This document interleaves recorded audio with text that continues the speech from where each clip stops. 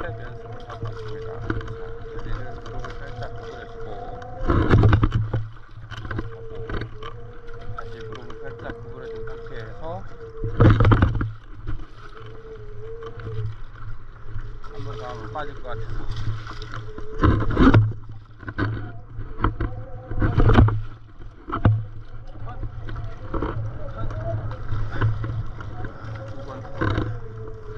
두번 탔어야 되는데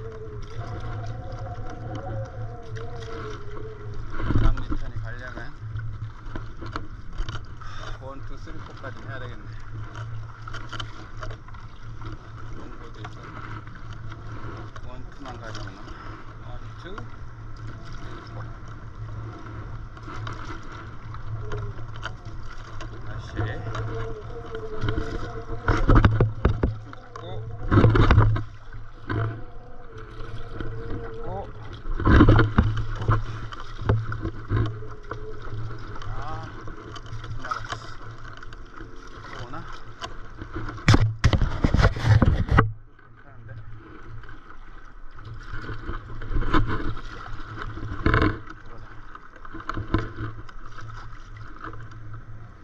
원,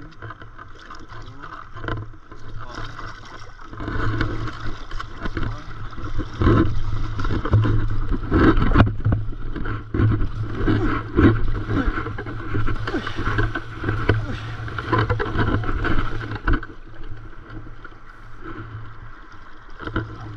자.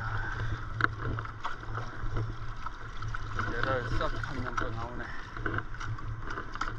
으차차차차.